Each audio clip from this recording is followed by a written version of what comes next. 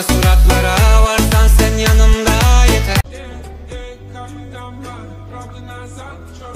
मेरा तो हाथ भी अभी से थक गया। सवाल ये है कि वो क्या चीज़ है जो जिसके पास पढ़ नहीं है लेकिन वो फिर भी उड़ती है?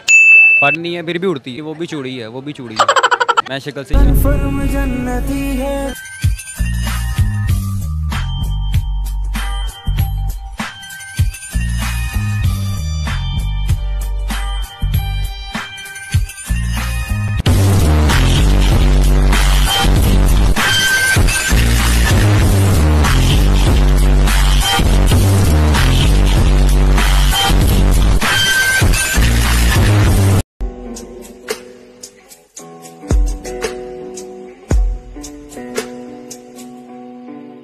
Так дайте пацанам посчитать потери. Суммы нули погибать на сцене. Снова один прогуляюсь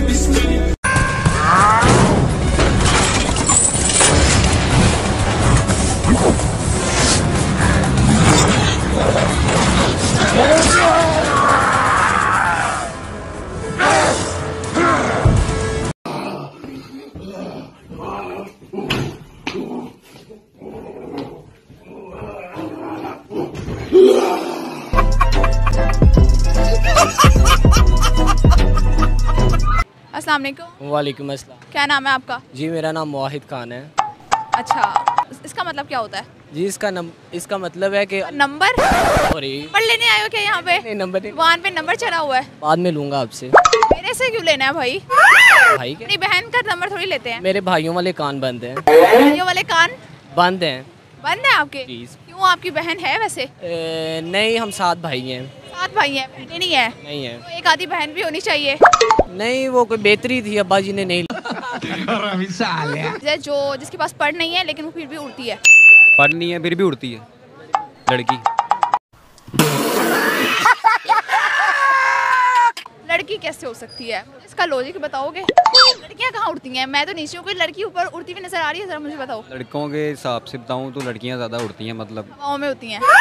ऐसे। अच्छा, तुम्हें तुम्हें कौन सी कोई ऐसी लड़की मिली है जो हवाओं में तुमने देखी है? अभी जिससे मिलने आया हूँ मैं वो भी वाव में उड़ रही है। को वालेकुम अस्सलाम। क्या नाम है आपका? अजान। अजान क्या करते हैं? मैं काम सेहत के साथ। सेहत के साथ।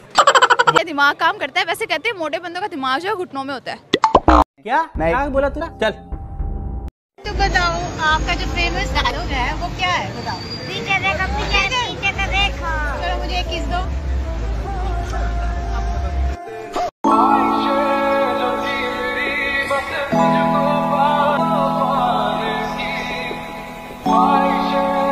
अगर तुम लोग नए हो तो सब्सक्राइब करो। वो जो लाल वाला बटन है उसके साथ स्कैम करो या फिर महफिल जमाओ। मुझे नहीं पता बस क्लिक हो जाना चाहिए। अब मैं